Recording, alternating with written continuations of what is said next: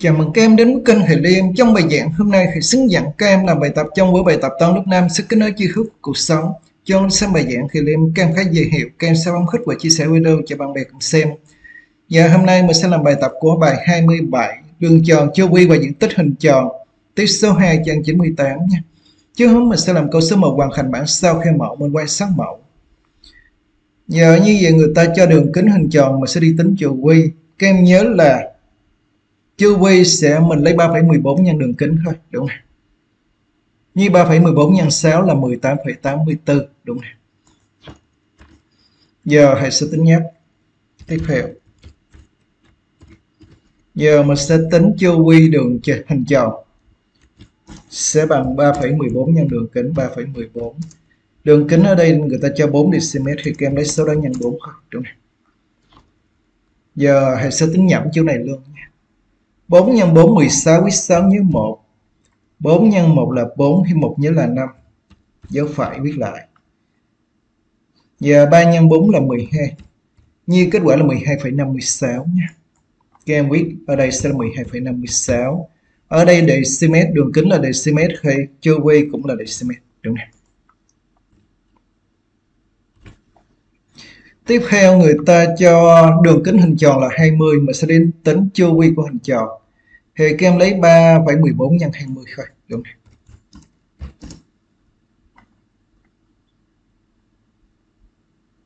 Giờ 3,14 nhân 20 số 0 này các em viết lại nha. Sau đó các em lấy 2 nhân 3,14. 2 nhân 4 là 8, viết số 8. 2 nhân 1 là 2. 2 nhân 3 là 6 ở đây mình thấy có hai chữ số bằng hợp phân. Thì các em đếm từ phải qua trái hai chữ số các em đặt dấu phải. Như là 62,80 số 0 tận cùng này các em có thể bỏ đi. Như kết quả là 62,8 thôi đúng này đường kính là mm thì chu vi cũng là mm thôi đúng này như kết quả là 62,8 mm nhé Giờ tiếp theo người ta cho đường kính là 8 m, mình sẽ đi tính chu vi thì các em lấy 3,14 nhân cho 8. 3. Mình sẽ tính nhẩm luôn. 8 nhân 4 32 viết 2 nhớ 3. 8 nhân 1 là 8 thêm 3 là 11, mình sẽ viết 1 nhớ 1, dấu phải viết lại. 8 nhân 3 là 24, thêm 1 nhớ là 25. Như kết quả là 25,12 ở đây là mét thì phía dưới này cũng là mét thôi đúng không giờ như là mình xong, câu số 1 nha. Câu số 1 kèm theo bài kèm xong khích video thì với kèm theo bài.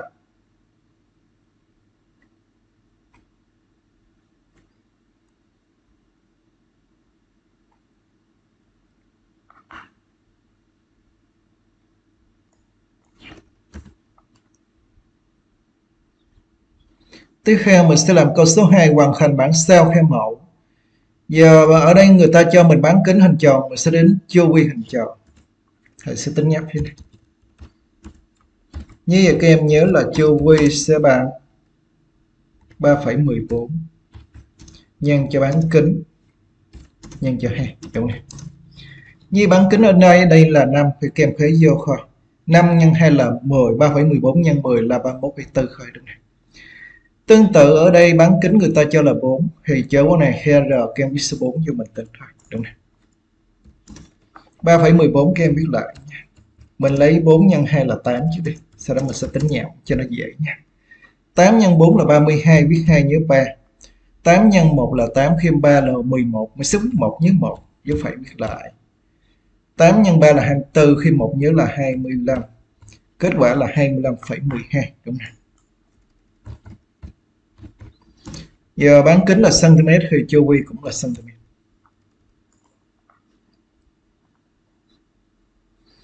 giờ bây giờ người ta cho bán kính là 6 như vậy là số 4 này các em khế bằng số 6 đúng không? Giờ 6 nhân 2 sẽ là 12 ở đây uh, nhân hai số mình sẽ đặt tính vào tính nha. Giờ thầy sẽ đặt tính vào tính phía dưới này nha.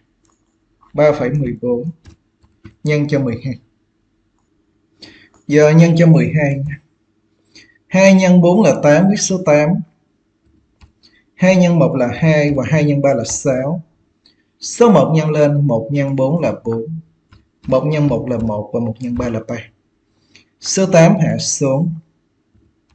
2 cộng 4 là 6 6 cộng 1 là 7 Số 3 hạ xuống. Ở đây mình thấy có hai chữ số bằng một phong Thì kem đếm từ phải qua trái, hai chữ số kem đặt cho phải. Kết quả là 37,68 nha. Nhiên mình sẽ biết ở đây là 37,68 ở trên đây là mét thì phía dưới này cũng là mét thôi đúng không? Tương tự ở đây người ta cho bán kính là 3 thì kèm khế số R sẽ bằng 3 đúng không? Như 3 nhân 2 là 6 giờ mình sẽ tính nhầm chỗ này luôn. 6 nhân 4 là 24 viết 4 nhớ 2 6 nhân 1 là 6 ghim 2 là 8 dấu phẩy viết lại. 6 nhân 3 là 18 kết quả 18,84 đúng không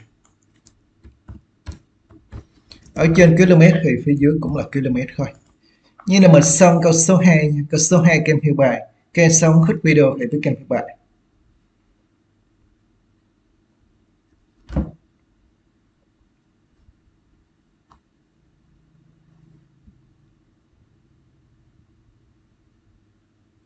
Tiếp theo mình sẽ làm câu số 3 viết số hợp phân kết hợp vào chỗ chấm cho hình bên mình quan sát hình. Bánh xe to có bán kính là 5 dm, bánh xe nhỏ có bán kính là 2 dm. Vậy chu vi bánh xe to lớn hơn chu vi bánh xe nhỏ là bao nhiêu? Hãy sẽ tính áp thế này. Như trước mình sẽ đi tính chu vi của bánh xe to chứ. Đây bánh xe to, đây bánh xe nhỏ nè. Chu vi bánh xe to là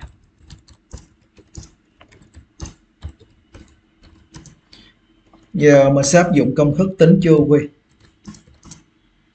ở đây người ta cho bán kính thì mình sẽ lấy 3,14 nhân cho bán kính.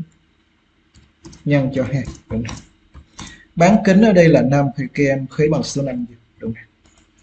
Rồi 5 nhân 2 là 10 3,14 nhân cho 10 một số hấp phân nhân cho 10 kem dịch chuyển dấu phải sang phải một chữ số dấu phải nằm đây. Có nghĩa là 31,4 đúng này decimal chu vi nó sẽ cùng đơn vị với bán kính nha. Bây giờ mình sẽ tính uh, chu vi của bánh xe nhỏ nha.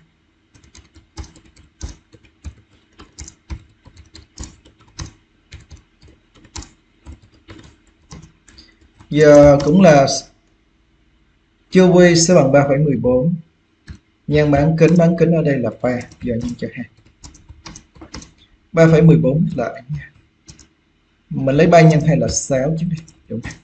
Giờ ông nhẩm chỗ này.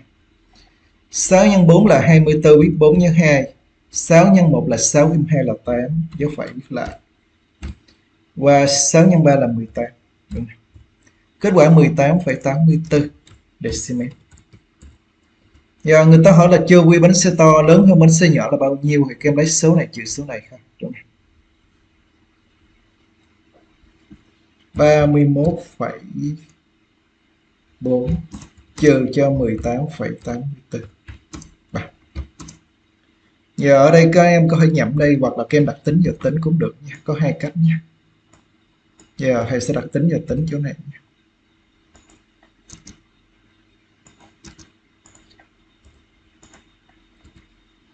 giờ mình sẽ lấy 31,4 31,4 các em viết là 31,40 đi. Cho đủ hai chữ số bằng hợp phân các em trừ nó dễ hơn đúng không? Giờ 0 trừ 4 không được Các em lấy 10 trừ 4 được 6 với 6 nhớ 1 8 này khi 1 nhớ là 9 4 trừ 9 không được Các em lấy 14 trừ 9 được 5 với 5 nhớ 1 Do phải hàng cột à, 8 này khi 1 nhớ là 9 1 trừ 9 không được Các em lấy 11 trừ 9 được 2 với 2 nhớ 1 1 này khi 1 nhớ là 2 3 trừ 2 được 1 Kết quả là 12,56 đúng không? Nhưng mà sẽ biết ở đây chính là 12,56 nha. Decimal đúng không? Giờ như là mình xong câu số 3 Câu số 3 kem hiểu bạn Cái xong hết video thì biết em hiểu bạn